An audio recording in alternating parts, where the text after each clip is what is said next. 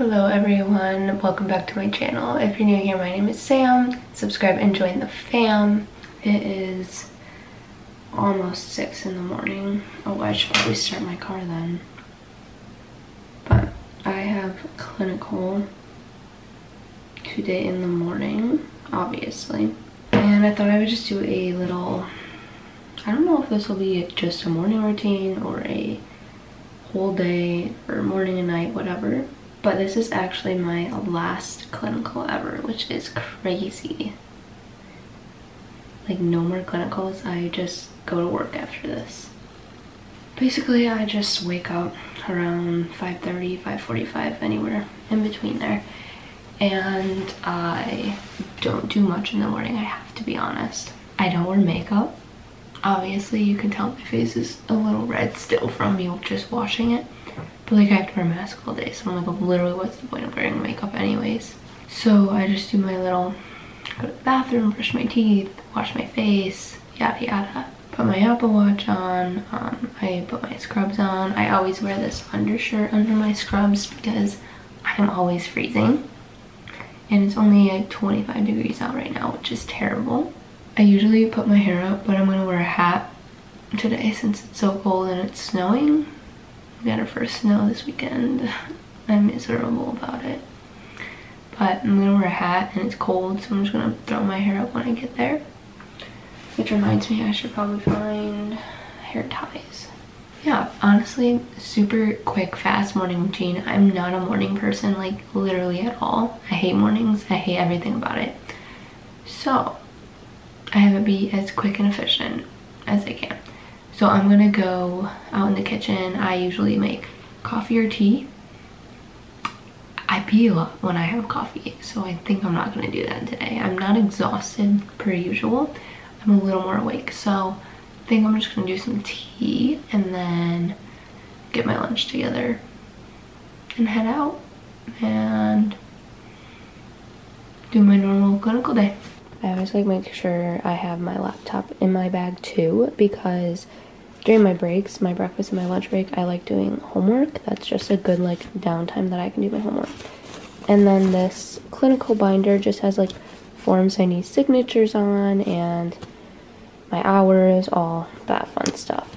And then the only other thing really in here besides my lunchbox that I'll put in here is this clipboard.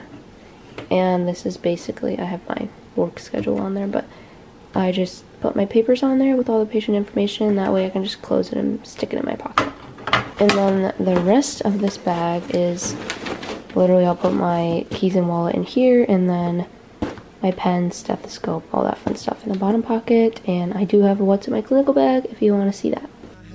I'll walk with you to Georgia. Have you ever been in love? From high above, and if the answer's no, well then I'd like to get to know you. And though I know these lights are blinding, I will guide us home. Cause I don't know what I've been told. The weather outside is not that cold, and if you take my hand, I'll walk with you to Georgia.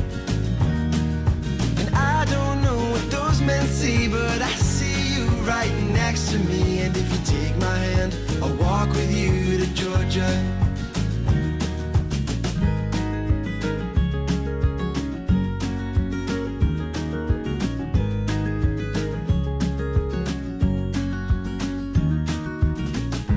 We got a brand new night, and good love will soon arrive. And when it does, then come a little closer. Have you ever seen the stars burn out into the dark? And as they go, say, It was nice to know. And though I know these lights are blinding, I will guide us I don't know what I've been told. The weather outside is not that cold. And if you take my hand, I'll walk with you to Georgia.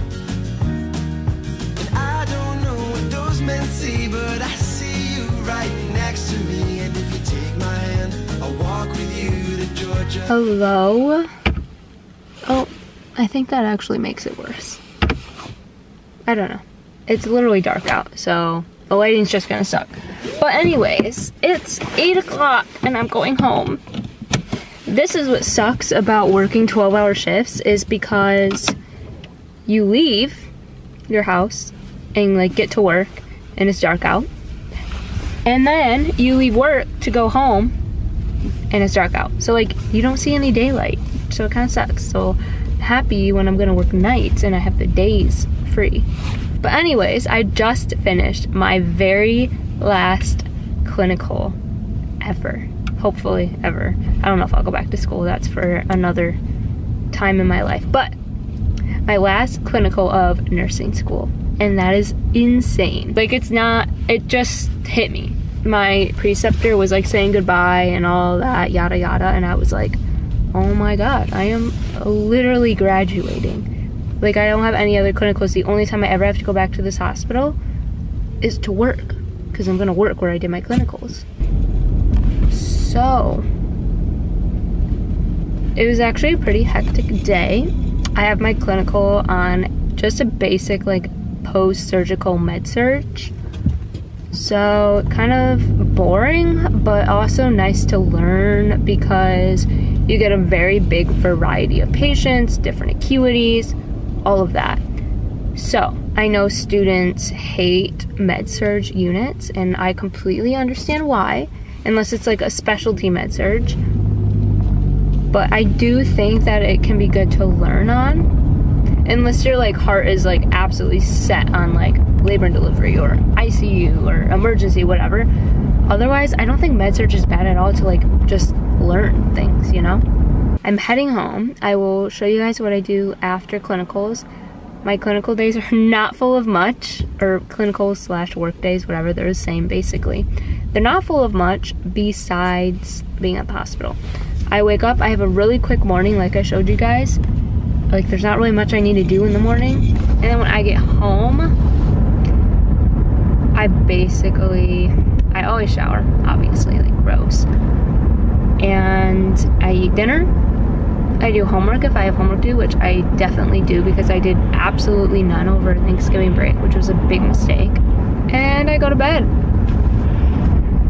I definitely don't work out on those days, that's for sure. I've tried doing that, and you know, it's just not very motivating. So.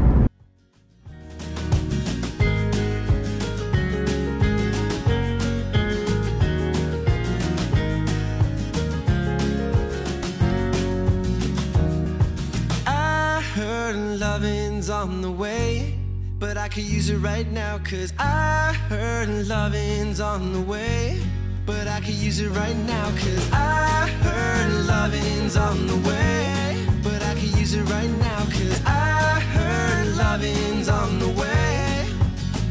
Hello, it is hmm, almost 11 o'clock already. I didn't realize it was that late to be honest. I know it doesn't look like it because my hair is dry, but I did shower. I just didn't wash my hair. I threw my hair in like a bun and just washed my body because I just washed my hair like two days ago into the fridge to look for leftovers, which there was, which was great.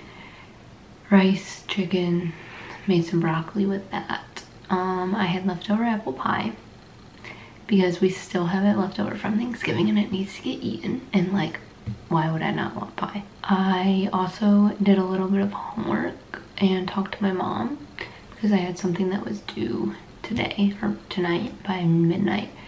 And then my mom was sitting on the couch, so I just sat out there and talked to her for a while. Probably too long. I'm so happy that it's the holidays because it looks so nice decorated for Christmas. We're not done decorating, but like with the lights and the wreath and the um, tree, just so pretty. But anyways, I'm in here now, finishing my night up. My routines are not anything special. I am going to wash my face. It's looking a little rough today because I had my mask on all day and I ran out of some products a couple weeks ago, three weeks ago, and my face broke out. Because, you know, I'm just someone that struggles with acne like 90% of people out there. Every night I wash my face with this CeraVe facial cleanser with, um, what's it called? Salicylic acid. Looks like this. I love this stuff. Literally, I think it helped my face a lot. I know I have some redness, but that's because I have rosacea, so like that doesn't go away, unfortunately. But this has drastically helped like acne and texture problems. I kind of change up my skincare routine depending on the day. If I shower, then I do a face mask or this um, peeling solution. It's like this red bottle one that literally looks like blood, but it's AHA and BHA and you just leave it on your face for like five to 10 minutes and it helps with texture irregularities and I would say acne as well, kind of like helps pull everything. But when I don't do that, which I did it the other day I showered and I only do that once a week. So not doing that today. I do some other kind of exfoliation and I either use Paula's Choice. This is the anti-redness exfoliating solution, 2% salicylic acid, just like the um, face wash that I use. Looks like this. It's from their clear line, which is like this blue color. And basically just helps like blemish prone skin and exfoliate your skin. I also, I'll switch up between that and the Ordinary products.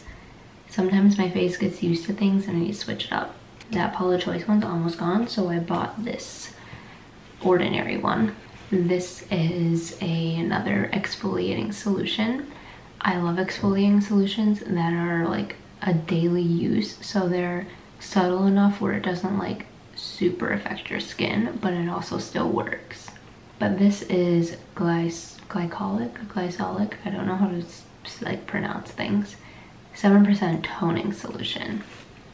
Looks like this. It's a really big bottle. It lasts a really long time. So I just stocked up on this when I went to Ulta the other day and that way I just have it whenever I run out. Moving on to serums, I have two. I use these morning and night.